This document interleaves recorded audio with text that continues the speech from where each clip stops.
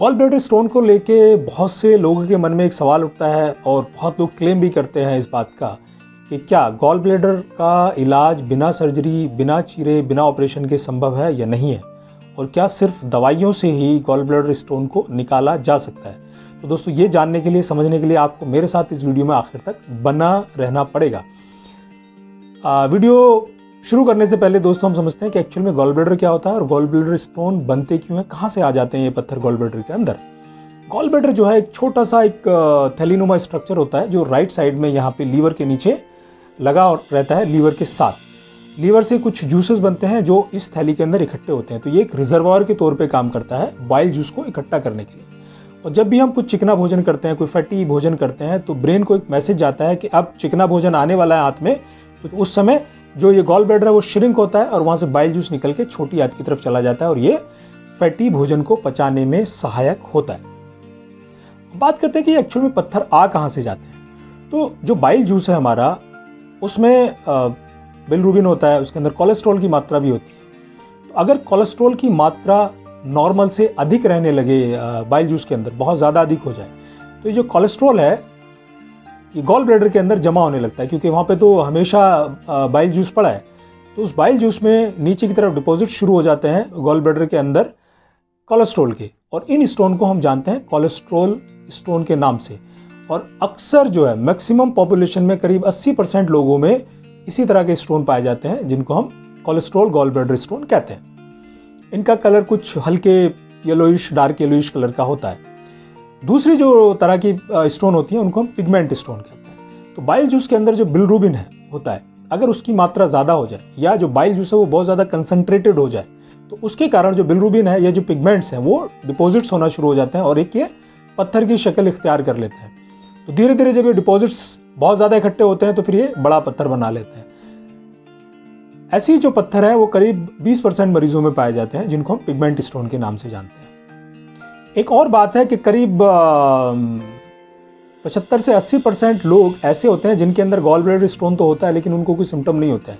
तो ऐसी कंडीशन को हम एसिम्टोमेटिक गॉल ब्लेडर स्टोन के नाम से जानते हैं। मगर, यही मरीज़ जो हैं, जो एसिम्टोमेटिक मरीज़ हैं, वो कभी किसी समय पे जाके सिम्टोमेटिक मरीजों में कन्वर्ट हो जाते हैं, यानी कि उनमें लक्षण आ जाते हैं। बट ये लक्षण आते क्यों हैं, कब आते हैं, कैसे आते हैं? तो एक्चुअली होता क्या है कि जैसे जैसे ये स्टोन का साइज़ बढ़ता जाता है तो ये जो बाइल जूस है, उसका रास्ता रोकने लगता है। तो जो बाइल जूस गॉल ब्लेडर से निकल के स्मॉल इंटेस्टीन की तरफ़ जाना था, अगर उसकी मात्रा कम होने लगती है तो स्टमक में जैसी फैटी कंटेंट जाते हैं तो उसका डाइजेशन ठीक से नहीं होता। जब डाइजेशन ठीक से नहीं होता तो वहाँ पे इंडाइजेशन शुरू हो जाता है। और जब इंडाइजेशन शुरू होता है तो पेट फूलना, पेट में भारीपन होना, दर्द होना नोजिया जैसे लक्षण आने, ये सारे सिम्टम आने शुरू हो जाते हैं।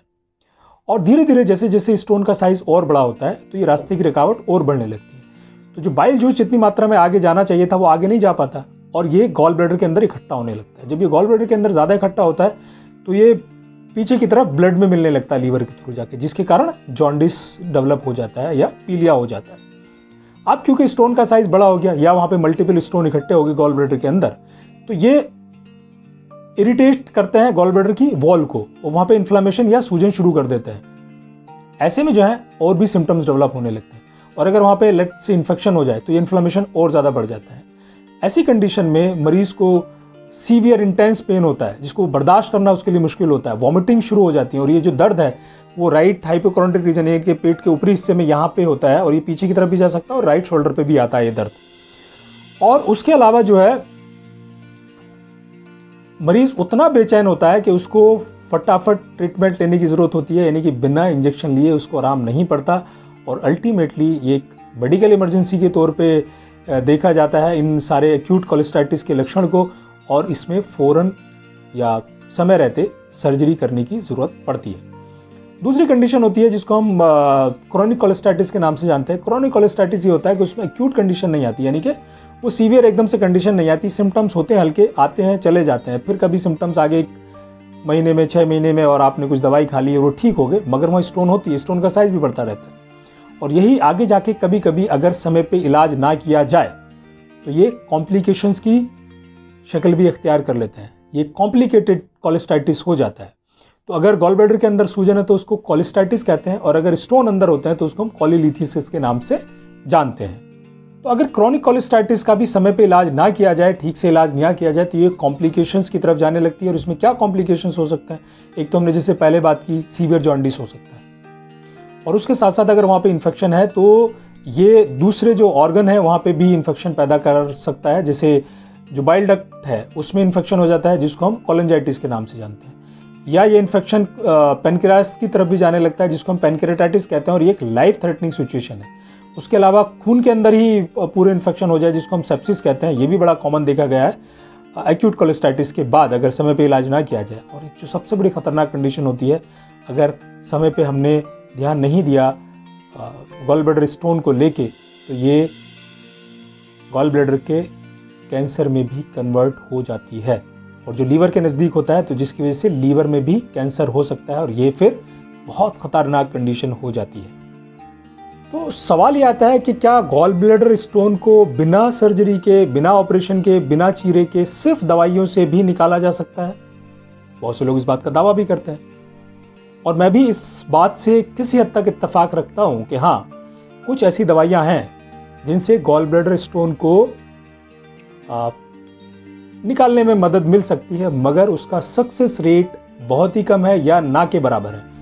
बहुत सारे ऐसे मरीज़ हैं जो कोशिश करते हैं कि चलो सर्जरी से कोई रास्ता मिला है, हमें बचने का तो चलो दवाइयों पे चलते हैं। और ये दवाइयाँ जब खाना शुरू करते हैं तो दवाइयाँ एक दिन में, दो दिन में कोई असर नहीं डालती। आपको सालों साल ये दवाई खानी पड़ती है, तब जाके वो गॉल ब्लड स्टोन पर कुछ अपना असर दिखाती हैं। लेकिन अगर स्टोन का साइज़ बड़ा है तो पॉसिबिलिटी ना के बराबर है या इम्पॉसिबल है कि आप गॉल ब्लड स्टोन को किसी दवाई से निकाल सकते हैं बिना सर्जरी के।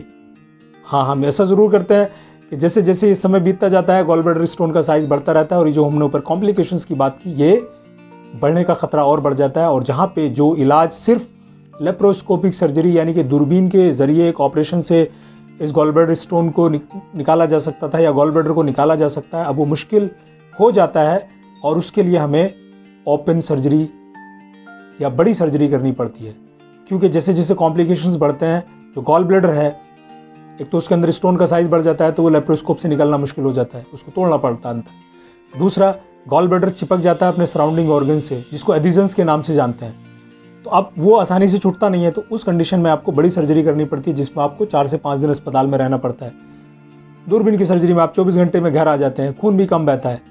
और अगर इसमें कॉम्प्लिकेशंस बढ़ गए, मरीज़ को पेनक्रेटाइटिस हो गया, या ऊपर वाला ना करे कि किसी को गॉल ब्लैडर का कैंसर हो गया तो फिर ज़िंदगी बचाना बहुत मुश्किल हो जाता है। तो दोस्तों, मैं ये कहूँगा कि हाँ इलाज ज़रूर है अवेलेबल दवाइयों के ज़रिए भी, लेकिन उससे आप इंसिडेंट रेट को कम कर सकते हैं। पथरी को बनने से रोक सकते हैं, उसकी प्रक्रिया को धीमा कर सकते हैं, लेकिन ख़त्म नहीं कर सकते तो ये बात अपने मन में बिठा लें कि गॉल ब्लेडर स्टोन अगर हैं और उनका साइज़ बड़ा हो गया है तो आपके पास सर्जरी के अलावा कोई दूसरा ऑप्शन नहीं है।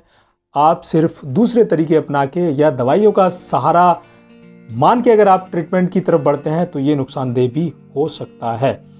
दोस्तों मुझे उम्मीद है कि आपको ये वीडियो को पसंद आया होगा। अगर आपको ये वीडियो पसंद आया हो अच्छा लगा हो तो आ, वीडियो को लाइक करें शेयर करें अपने दोस्तों के साथ शेयर करें उन लोगों के साथ शेयर करें आ, जिनको गॉल ब्लड स्टोन है सो दैट वो फ़ायदा उठा सके। और चैनल को सब्सक्राइब करना ना भूलें। धन्यवाद।